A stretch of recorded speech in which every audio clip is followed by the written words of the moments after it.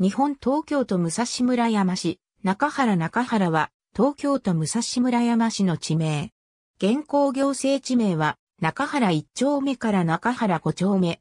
郵便番号は208-0035。武蔵村山市西部に位置する。北は岸、東は残堀、三藤、西は水穂町と野ヶ谷に隣接する。南は横田基地と隣接している。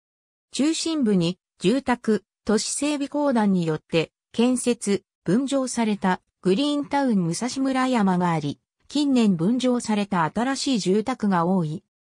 住宅地の地価は2014年1月1日の工事地価によれば、中原2丁目10番14の地点で10万9000円、平方メートルとなっている。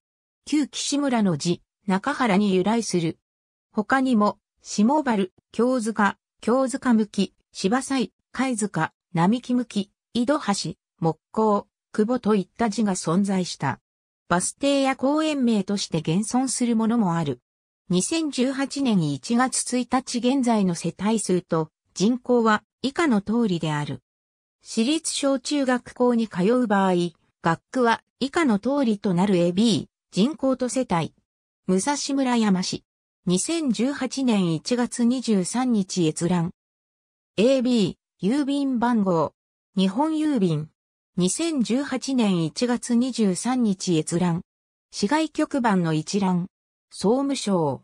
2018年1月23日閲覧。国土交通省地下工事、都道府県地下調査、通学区域。武蔵村山市。2018年1月23日閲覧。